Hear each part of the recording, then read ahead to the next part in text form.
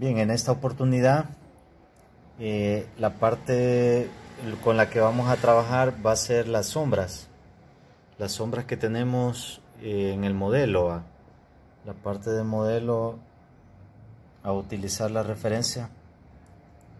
Voy a, voy a sacar el, grafito del, del 4H con la cuchilla para luego usar el, el hisopo y ir aplicándole eh, lo que es algunas sombras, algunos grises. Voy a ir siempre viendo la referencia de la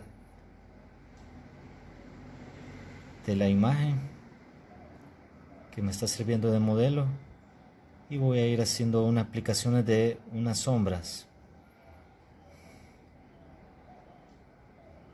para ir haciendo la representación en esa parte eh, bien, ya ustedes ya tuvieran que haber logrado una parte del, del parecido para ir destacando ya otros elementos de los diferentes rasgos. Yo aquí voy a ir haciendo los rasgos ya faciales en cuanto al, al volumen y a la sombra. Voy a ir aplicando ahí ciertas eh, sombras que necesita para ir logrando el parecido de, del retrato.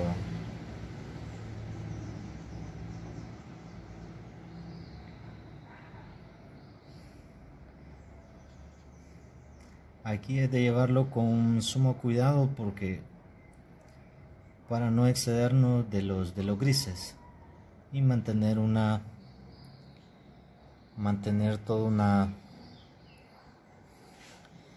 una gama de tonalidades que nos puedan ir eh, haciendo más el, refuerzo de las de las tonalidades grises.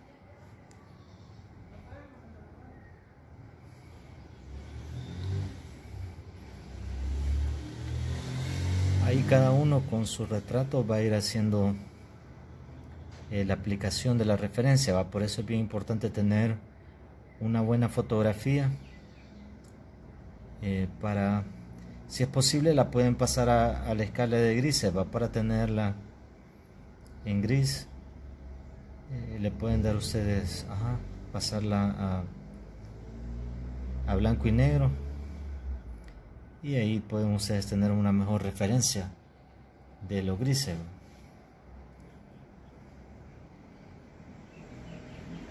Pero ahí vamos a ir en esa parte. Le voy a voy a ir mostrando eh, los diferentes resultados.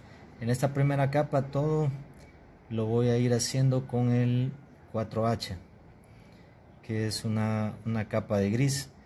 Esta capa la voy a cubrir en todo hasta en el traje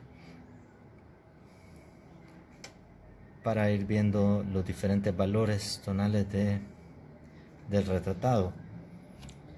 Si quedan algunas partes que quedan bastante oscuras, podemos ir difuminándolo con el papel o con un difumino, como ustedes ahí desean. En este nivel, como tenemos 4H, no hay problema, podemos ir haciendo esas partes, así ir suavizando. Podemos ir suavizando los grises que vayamos aplicando para ir difuminando. Sin poner sin tocarlo sin tocarlo con la yema de los dedos sino que con con lo que es el papel. Porque si lo hacemos con la yema de los dedos nos va a quedar amarillo nos va a quedar ahí esa parte. Tenemos que ir haciéndolo con un papel o un trapo. O en el otro caso puede ser también un, un pincel. Un pincel se puede utilizar para ir eh, difuminando ir haciendo eh, las partes que queremos suavizar más que queremos ir dándole más eh, tonos más difuminados. Bien ah, pues en el, siguiente video voy a mostrarles cómo va a ir avanzando la parte del proceso de, los, de la escala de grises